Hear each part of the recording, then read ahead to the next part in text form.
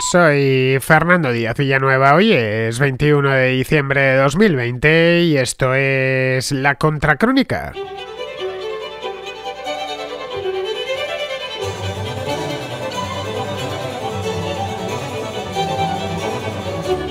Hace una semana, el pasado día 15 de diciembre, el buscador Google y su tupida red de servicios como YouTube, Gmail, Google Maps o Google Drive, en fin, un montón de ellos se vinieron abajo para estupor de todo el mundo. La caída duró aproximadamente media hora y se dejó sentir en pues en prácticamente todo el planeta. En España, desde luego que dejó sentir porque yo la padecí. Una mala noticia, sin duda, pero no peor de la que recibieron al día siguiente los responsables de Google cuando se desayunaron con una denuncia de 10 estados de los Estados Unidos en la que se les pedía cuentas por gestionar un monopolio de publicidad en el que, según dicen, se han conchavado con Facebook para manipular las subastas de anuncios online y así controlar pues algo parecido a un régimen de monopolio el mercado publicitario online. Esto sucedió la semana pasada, después de la caída. Bien, dos días más tarde llegó una nueva denuncia contra Google en un juzgado de Washington, esta vez presentada no por 10, sino por 38 estados de los Estados Unidos, con las presentaban las fiscalías de cada uno de los estados. La razón era exactamente la misma, según los demandantes, Google no solo abusa de su posición dominante en este mercado, sino que además aplasta a sus competidores dificultándoles el acceso a un mercado que es, por cierto, muy jugoso. Es un mercado que mueve alrededor de 300 mil millones de dólares al año. Esta era la tercera denuncia porque habían tenido una dos días antes y otra más en el mes de octubre, en este caso por el negocio de las búsquedas. Estas demandas en cadena contra el gigante han hecho resurgir el viejo debate sobre si es buena o no, un debate bastante antiguo, tiene más de una década, la preponderancia de Google en la red.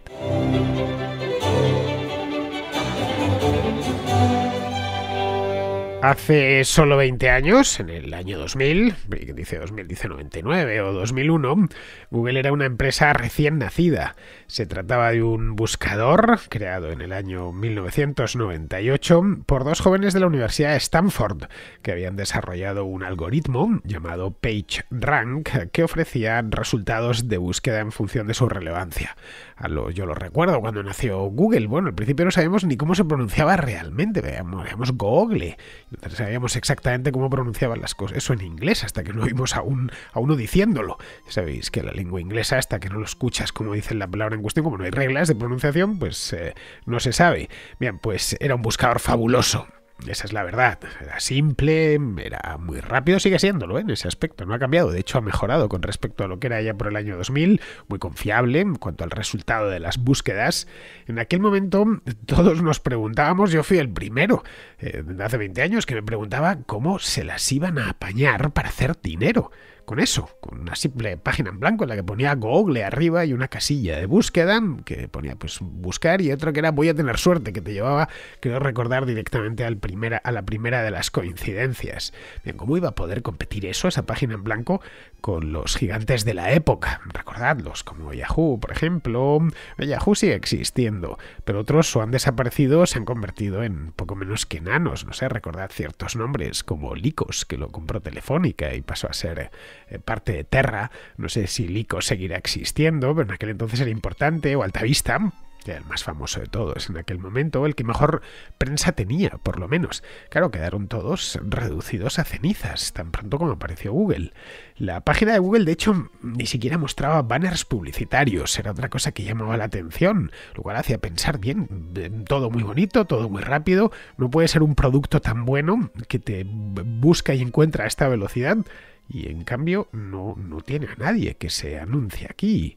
Lo suyo, de hecho, era mucho más sofisticado, claro, que desarrollar una manera de un, un, modo de, hacer viable eso, si no, no existiría, pues hubiera sido el trabajo de fin de carrera de dos estudiantes de Stanford y asunto resuelto y hubiera desaparecido. No, no, no, ellos lo tenían bastante claro, unido además al, a sus propios, a, los algoritmos que iban, que iban desarrollando. La web es muy bonita desde fuera, pero por detrás básicamente imperan las matemáticas, a los que somos de letras, pues esto nos sorprende un poco. Siempre pensamos en web, pensamos en diseño, en contenidos, pero no, para que todo esto funcione, este milagro funcione, hay muchísima matemática por detrás. Y estos dos estudiantes eh, eh, de matemáticas sabían muchísimo. Por lo tanto, eran Larry Page y, y Sergey Brin, y siguen siendo porque siguen vivos. De hecho, tienen mi edad. Así que mm, cuando vienen los, eh, los millennials o los más jóvenes todavía diciendo poco menos que Internet lo han inventado ellos, pues habría que recordarles que ya estaba inventado hace 20 años y hace 25. De hecho, que prácticamente todas las cosas importantes de Internet estaban inventadas hace como mínimo 15 años. Lo único que han hecho es mejorar con el tiempo. Bueno, el hecho, volviendo al tema este de la publicidad, lo, que crearon fue un sistema bastante eh, sofisticado de publicidad. Una vez realizabas la búsqueda, lo que hacía Google era mostrarte anuncios contextualizados, llamaban publicidad contextualizada, con lo que habías buscado. Claro, si buscabas un restaurante, pues no te iba a mostrar el qué sé yo, una tienda de flores, te mostraba, aparte del restaurante que habías buscado, otros restaurantes. Simplemente, si estabas buscando un instrumento musical, una guitarra o un piano una batería, pues lo que no te iba a mostrar era una cámara de fotos, sino otros instrumentos musicales. Era una, un sistema de publicidad no personalizado todavía, pero que se aproximaba a lo que tenemos hoy en día, que es una publicidad, pues casi casi lo que vemos en internet es casi casi lo que hecho para nosotros. Si yo visito aquí, abro la página web de cualquier periódico, eh, la abro yo con en mi eh, teléfono o en mi ordenador y la abre otra persona en su teléfono o su ordenador, los contenidos van a ser los mismos, pero en cambio la publicidad va a ser muy diferente. Pues todo esto empezó con Google hace 20 años y ese era el modo en el que empezaron a financiarse. Lo hicieron de una manera muy poderosa, por cierto. Estos anuncios eh, eh, contextualizados eran muy efectivos. ¿Por qué? Pues porque los banners convencionales eran una herencia directa de la prensa escrita, en el que daba igual quien estuviese delante, el anuncio era para todos, eh, para todos el mismo. Sobre este pilar, los dos creadores de Google, que se llamaban, como os he dicho, Larry Page y Sergey Brin, levantaron un imperio un imperio que hoy está entre los más grandes del mundo. Hoy vale cerca de un billón de dólares y que no solo se dedica a la búsqueda, la búsqueda es uno de sus negocios, pero yo creo que ya a estas alturas ni siquiera el principal, aunque todo gira evidentemente en torno al, torno al buscador y las capacidades de búsqueda que tienen. Buscar es, de hecho, un elemento más de todo un ecosistema digital que incluye pues un afamado servicio de correo electrónico que yo uso, por cierto, desde hace muchos años, pues tranquilamente 15 o 16 años. También un servicio de mapas bastante potente, que también uso, por cierto, y creo que lo usamos prácticamente todos. Tiene un disco duro en la nube, el Google Drive, que también empleo de vez en cuando cuando quiero pasar algún archivo a alguien, un archivo grande, se entiende. Tiene un sistema operativo para smartphones, ese no lo uso, pero tengo un, iPhone, pero vamos, que es el más eh, extendido y el que mayor cuota de mercado tiene en todo el mundo, que es el Android, que además es personalizable y por lo tanto pues las marcas lo han, no es el mismo Android del que tiene un Samsung, por ejemplo, que el que tiene un Xiaomi, y luego tienen el mayor servidor de vídeo del mundo, que es YouTube. Muchos de los que estáis escuchando este programa lo estáis haciendo a través de YouTube. Todo esto está bajo el paraguas de una sociedad llamada Alphabet. Alphabet fue fundada mucho, mucho más tarde, no se fundó pues hasta 2015, si mal no recuerdo, el verano de 2015. Recuerdo que se había fundado porque al principio no se llamaba así, pero claro, tenía ya tantos servicios. La sede de, de Alphabet se encuentra en Mountain View, que es una pequeña ciudad de Silicon Valley, al sur de la bahía de San Francisco. Vamos, eh, Google tiene pocos secretos, como todos, de una manera más o menos intensa. Somos usuarios de sus servicios, pues hay pocas cosas de Google que, nos sorprendan, que nos sorprendan o que no conozcamos. Ahora con esto del coronavirus y los confinamientos, pues tienen también, por supuesto, que su servicio, creo que se llama Classroom, una cosa así, que lo han utilizado mucho los niños para dar clase. En fin, todos sus servicios son gratis para el usuario. Es cierto que puedes comprar espacio, por ejemplo, el Google Drive, pero eso es un asuntillo menor. Tú puedes abrirte una cuenta de correo sin pagar. Una cuenta de correo en Gmail, se entiende. No hay que pagar una cuenta por ella. Tampoco hay que pagar una cuenta por usar Google o sus mapas o, por ver vídeos en YouTube. YouTube sí lo que tienen es una posibilidad de YouTube Premium, pero vamos, que lo suscribes si quieres. Creo que te quitan los anuncios, una cosa así el, que es otro de sus negocios, el principal, de hecho. El, hecho es que tampoco te cobran por subir los vídeos. A mí Google no me ha no me pasa una factura todos los meses por subir la contracrónica. Y, y ninguno de sus servicios tiene coste. No tiene coste final para el usuario. Pero claro, cuesta dinero prestar todos estos servicios. No es gratis y tampoco es precisamente barato. Necesitan unas granjas de servidores brutales, eh, ancho de banda, la tecnología mm, lógica más avanzada del mundo. ¿Y ese dinero quién lo pone? Pues si no lo ponen los usuarios, lo tendrá que poner otro. Tampoco lo ponen los gobiernos, tampoco lo ponen unos protectores que tengan, que meten el dinero ahí, pues como podrían meterlo en comprarse un yate. No, no, no, pero tampoco valdría. Es decir, estamos hablando de miles de millones de dólares. Ese dinero lo ponen los anunciantes. Y no solo a través de las búsquedas, estas que os hablaba, las búsquedas, eh, la publicidad contextualizada, sino de varias maneras, mediante dos agencias de publicidad. Una es para anunciantes y se llama Google Ads, y otra para editores de sitios web, que se denomina Google AdSense. Cualquiera de vosotros que tenga una página web habrá oído hablar más de una ocasión, si no miles de veces, de AdSense, de los términos estos extraños, CPM y demás, el coste por millón de visitas, el dinero que te dejan, y cualquiera que tenga una empresa y haya querido publicitarse en Internet, pues sabe que tiene que pasar por las orcas caudinas de Google Ads, pues casi casi sí o sí, porque tienen la, tecnología más desarrollada además son el, la empresa dominante en ese sector. Ambas razones comerciales, tanto Google Ads como Google AdSense, son, ya digo, conocidísimas. No, en esto creo que quitando una persona que viva completamente desconectada y si está completamente desconectada, no está escuchando este programa, este programa sea solo por internet, son, eh, son conocidísimas pues, por prácticamente todo el mundo. Hasta el más profano en la materia ha leído alguna vez eso de Google AdSense, que sea encima de un anuncio que aparece, ¿no? Me ofrece la posibilidad de poder retirar el anuncio, que no vuelva a aparecer, incluso de quejarte por él. Si no te ha gustado, porque el contenido te parece ofensivo, te puedes quejar por él. Eso evidentemente no lo va a leer una persona, sino estos sistemas que tienen, que tienen desarrollados. En principio cualquiera podría hacer lo mismo, esto que ha hecho, que ha hecho Google, nadie se lo impide. Google no tiene, no ha desarrollado esto con privilegios concedidos por ningún estado, ni por los Estados Unidos, ni por ningún estado del mundo. Es decir, cualquiera se puede montar una agencia de publicidad online. Aparte de Google AdSense hay muchas más y vender sus servicios en el mercado. Pero claro, con un actor tan grande en este mercado que ofrece tantos servicios, que los tiene vinculados, pues eh, es algo complicado para los más pequeños.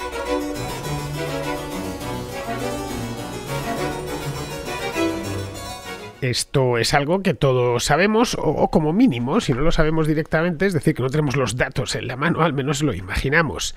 Pero no tiene necesariamente que constituir un delito. Es decir, tener una empresa grande que es dominante en su sector no es un delito, no es ilegal puede significar bastante a menudo que has hecho las cosas muy bien y que por lo tanto pues los consumidores escogen tus productos por la razón más obvia y es porque simplemente tienes un producto o ofreces un servicio que es muy bueno a un precio muy bajo. En el caso de Google el precio es cero, es decir, utilizar, por ejemplo, Google Maps con respecto a Apple Maps, que vienen todos los teléfonos de Apple, y yo lo tengo ahí, pero no lo utilizo en mi vida, es porque me parece mejor el sistema de Google Maps, no porque nadie me esté obligando, ni me esté dando, em, poniéndome una pistola en la sien, ni nada de eso.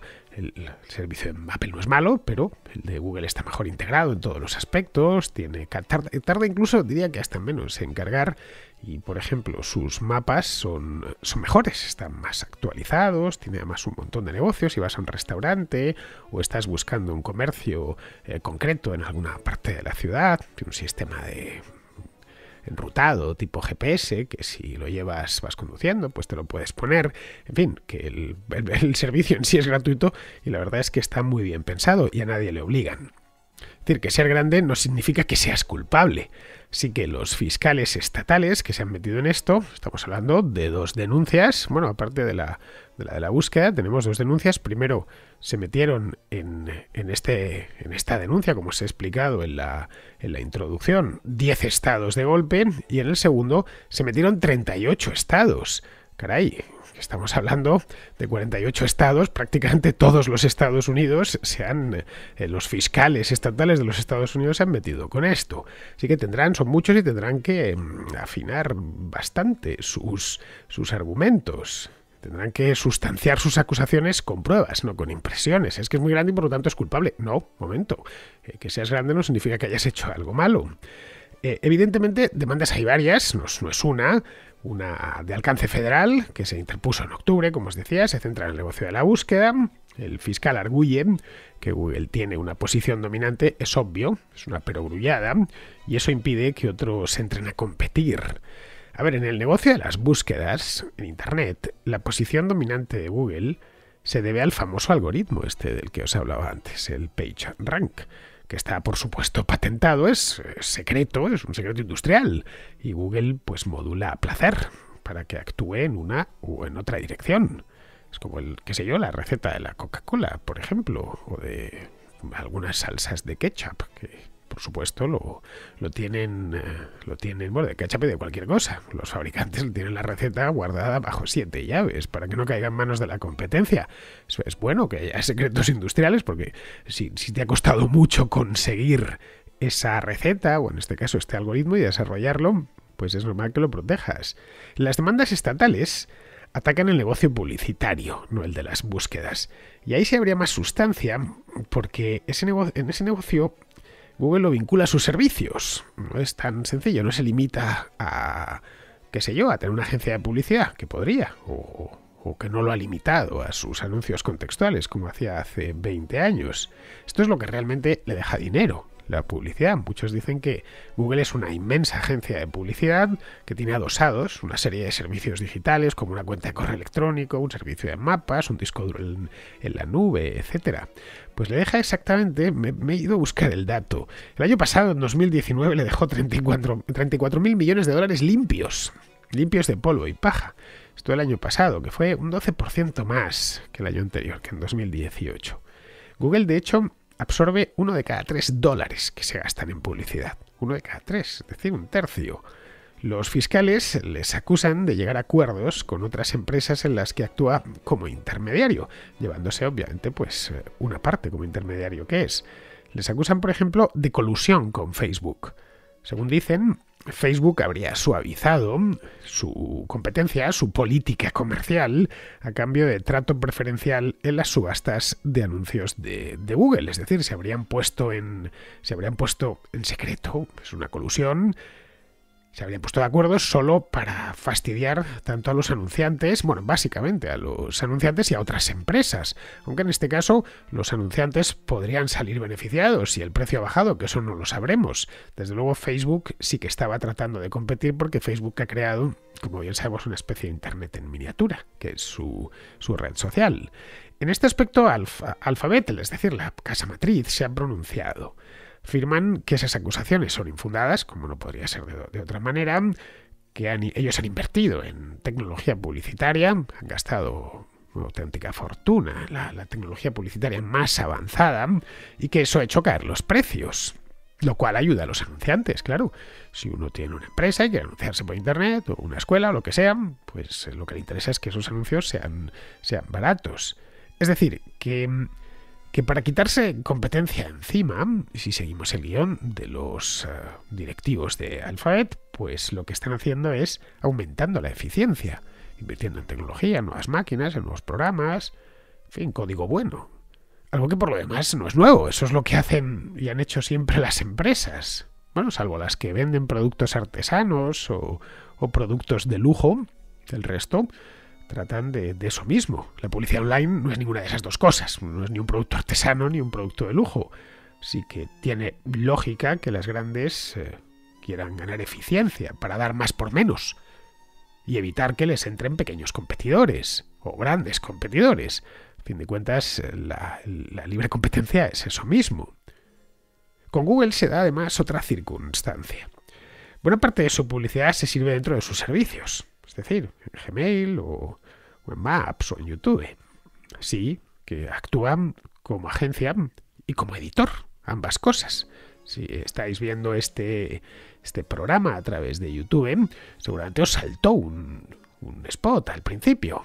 A veces suelta dos, eh, que por supuesto personalizado. Los que me muestra a mí no son los mismos que os muestra cualquiera de vosotros tomados de uno en uno.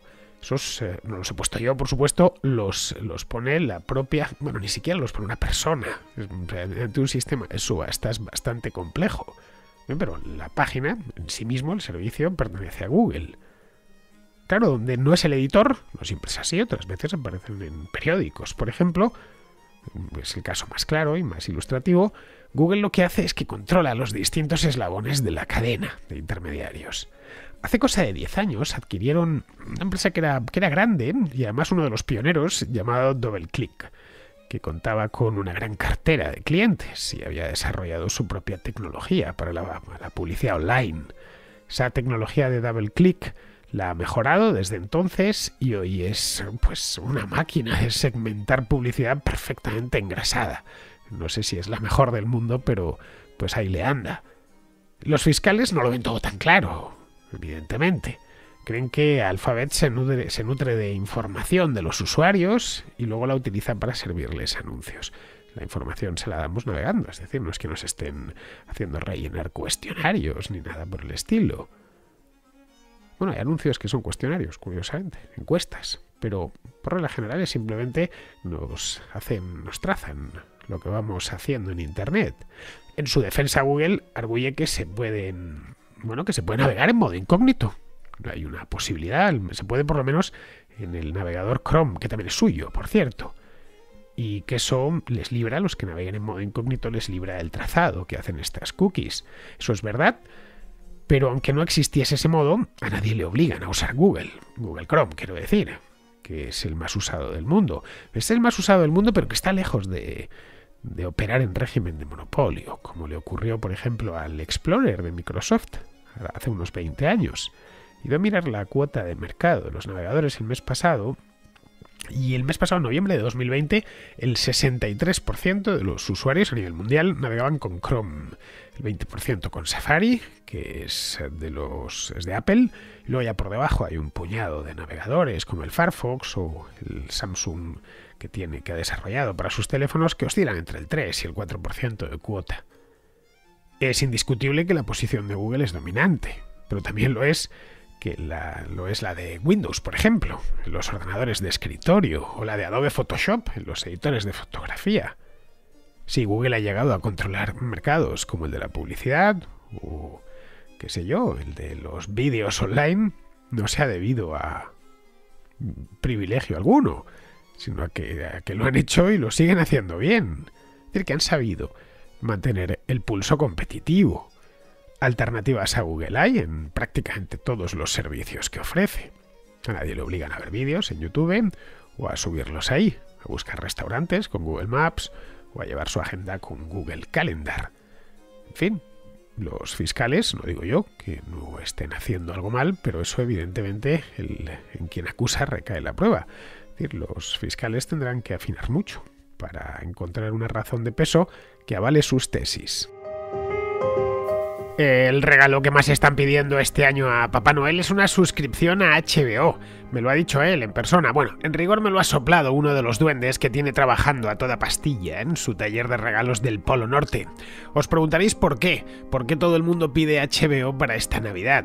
Bien, pues hay un par de razones muy poderosas. Una se llama The Undoing y la otra 30 monedas. Son dos de los estrenos que podrás encontrar en HBO esta Navidad. Series de esas que te quedas pegado a la pantalla y ya no hay manera de despegarte hasta que has terminado. La primera, la de The Undoing, está protagonizada por tres eh, rutilantes estrellas del celuloide que todos conocemos bien. Una es Nicole Kidman, y otro Hugh Grant y el otro Donald Sutherland. Quedaros con un dato nada más. Thriller psicológico del máximo nivel, en seis capítulos de aproximadamente una hora de duración. La serie está basada en una novela titulada Tú ya lo sabías, de Jan Hanf Korelitz, y no le falta ni un elemento para convertirse en uno de los éxitos televisivos de esta temporada. De hecho, ya es uno de los éxitos televisivos de esta temporada. Quedaros con eso, The Undoing, y la podéis encontrar en HBO. De 30 monedas, pues, ¿qué queréis que os diga? Poco, muy poco puedo decir que no se haya dicho ya en los últimos días, y todo lo que se ha dicho es bueno. Supone 30 monedas la entrada por la puerta grande de Alex de la Iglesia en la ficción televisiva. Alex de la Iglesia es uno de nuestros grandes directores, lo ha sido en el cine y también lo es en la televisión. El punto de partida de 30 monedas no puede ser más interesante. Imaginad que una de las 30 monedas con las que Judas vendió a Jesucristo se conservase y no solo se conservase, sino que además fuese encontrada en España. Pues bien, eso mismo es lo que sucede en 30 monedas y da pie a una cadena de sucesos paranormales que ponen a un pequeño pueblo de Castilla en jaque. Eso es solo el comienzo porque luego viene mucho más. 30 monedas consta de 8 capítulos que se van estrenando semanalmente, así que puede ser el primero en verlos y ya no habrá posibilidad de que alguien te los cuente y te los estropee. Esta semana se estrenará el capítulo 5, el último llegará el próximo 17 de enero.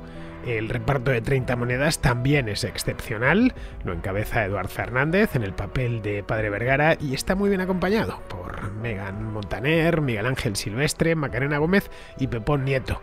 Normal que los duendes de Papá Noel no hagan más que tramitar suscripciones de HBO. Sus historias llegan, nos tocan y de alguna manera se pueden convertir en nuestras propias historias. Las historias de HBO son para alguien como tú. Y tras este consejo publicitario de HBO, consejo que está en personal, por cierto, porque las series son buenísimas las dos. Bien, pues pasamos a la contrarréplica. Empezamos con Yolanda, que nos trae una noticia mierder bastante graciosa. Hola Fernando y a todos los amigos contraescuchas alrededor del mundo entero. Eh, hoy quería compartir con vosotros una noticia mierder que eh, ya me ha hecho quedarme patidifusa. Yo no sé hasta dónde se puede llegar a sorprender uno. En fin, el caso es que eh, en este mundo de, identitarismo y etiquetas, pues resulta que también hay gente que no se siente de la especie humana, por lo visto.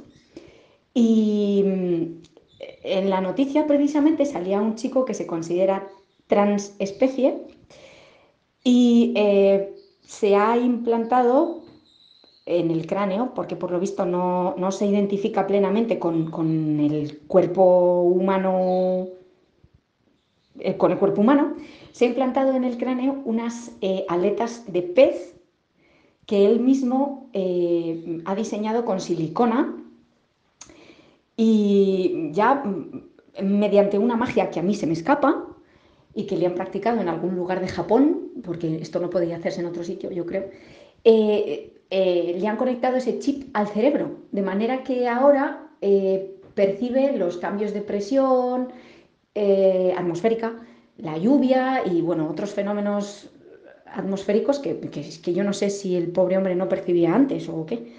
Pero bueno, de verdad que me ha dejado atónita y pues nada, ala, lo comparto con vosotros para que os pasméis conmigo. Eh, muchas gracias por, tu trabajo, Fernando, y un abrazo para todos. Pues sí, Yolanda, lo he visto, lo vi el otro día, y pensaba al principio que era una de esas em, noticias satíricas del mundo today, pero no, no, lo vi en la vanguardia, y claro, dije, no, no, la vanguardia no se anda con estas bromas. El, el individuo en cuestión se llama Manel y es de Barcelona. Se denomina a sí mismo artista cyborg y transespecie, porque según dice, no se identifica con la especie humana. Bueno, haya cada uno. Así que se ha implantado un par de aletas que están hechas de silicona, que le dan, le dicen la temperatura, la presión atmosférica y la humedad ambiente. Se lo dicen al parecer a través de unos sonidos dentro del, cerebro. Vamos, que yo creo que hubiera resuelto esto mucho más rápidamente y, también me temo que económicamente comprándose un Apple Watch. Y además podría escuchar música y hacerse un electrocardiograma, porque ahora los más modernos te hacen incluso el electrocardiograma. Pero lo mejor son sus declaraciones. Si miras la noticia, la vanguardia es magnífico. Dice textualmente. Entiendo que una parte mismo está fuera del espectro humano. No sabemos qué parte, pero una parte del mismo está fuera del espectro humano. Quizás está la cabeza lo que está fuera del espectro humano, no lo sé. Incluso cuando mis aletas están desinstaladas y por eso me identifico como transespecie. Es, no me digas que no me digáis que no es una cosa maravillosa lo de este hombre, lo del tal Manel. En fin, yo no sé, eso sí, sí convencerá a los de Hacienda. Vamos, que el impuesto sobre la renta de las personas físicas me temo que lo va a tener que seguir declarando, aunque se injerte, pues qué sé yo, las orejas de Dumbo. Bien, seguimos con Jesús, que nos habla de Donald Trump y su intento por revertir el resultado de las elecciones. Hola Fernando, primero que nada quiero agradecer por tu, por tu programa, ya que me la paso enganchado a él, más que nada de lunes a viernes con el tema de las noticias y demás.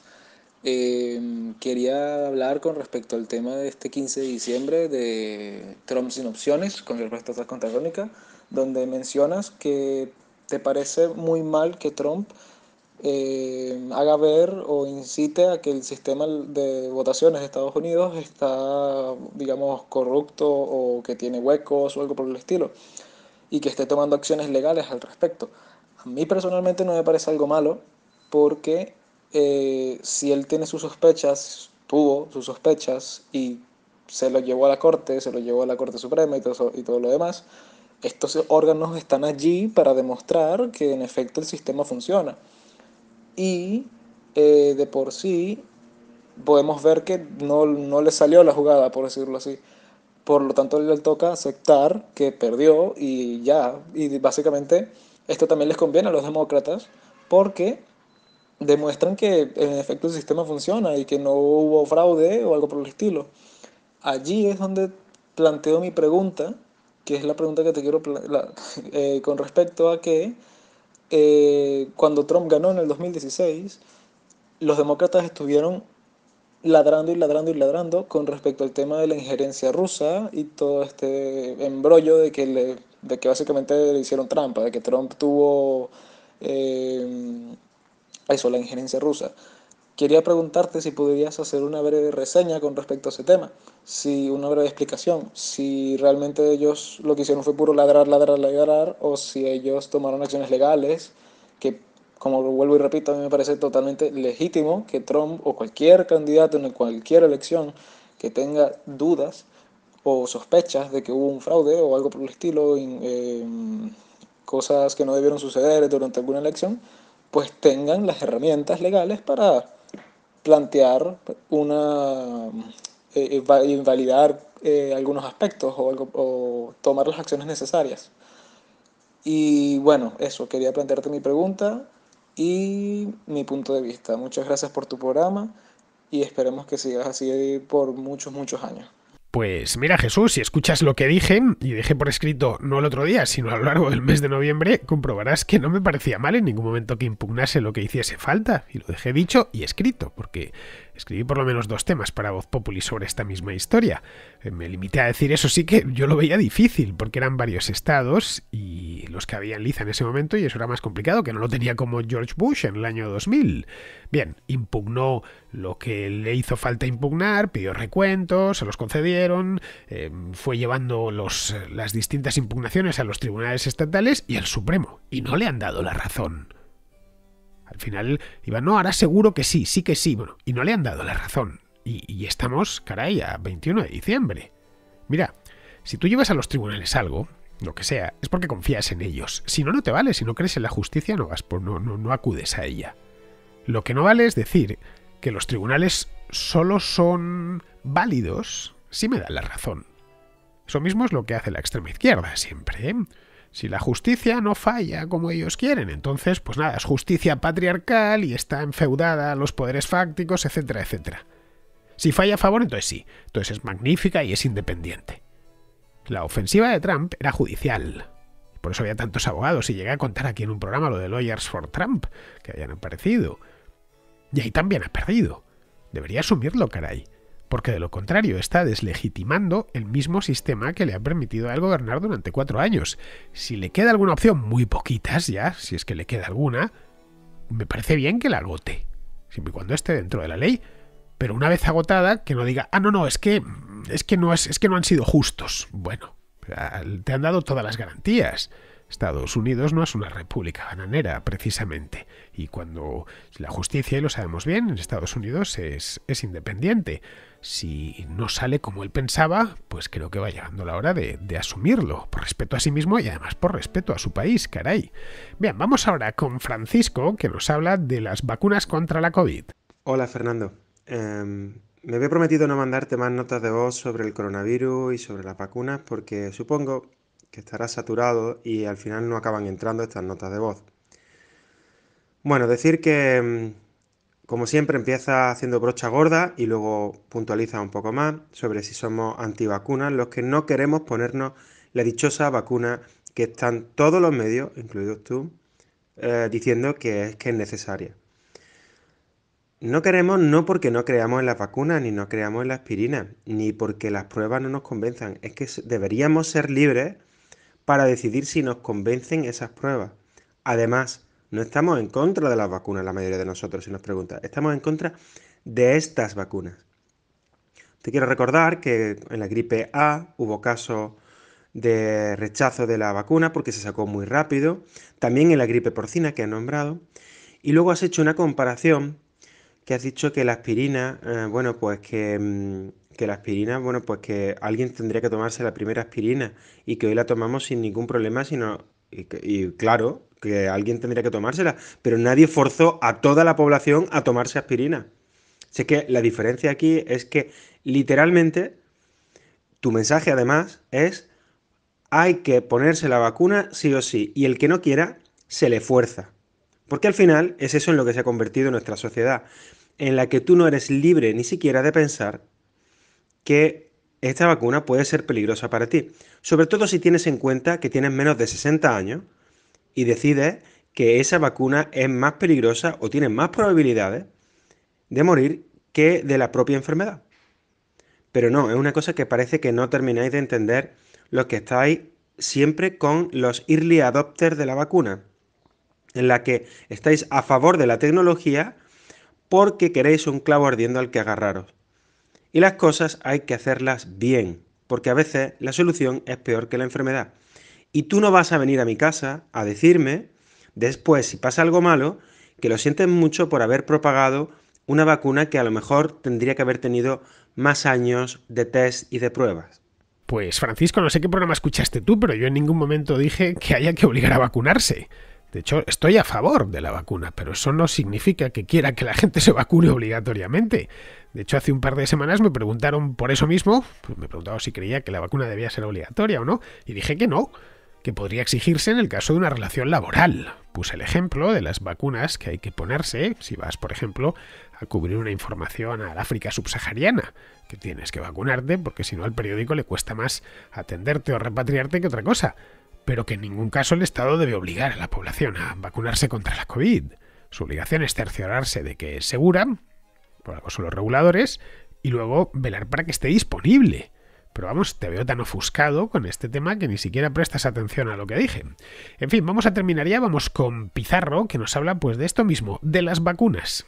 La pandemia está derrotada, pese a que los actuales datos epidemiológicos indican que goza de una excelente salud y vigor pero aún así está derrotada, puesto que la inmunización de los huéspedes del SARS-CoV-2 va a incrementarse de una manera drástica y crítica, limitando la capacidad de propagación viral hasta el punto de poder anular su capacidad de devastación.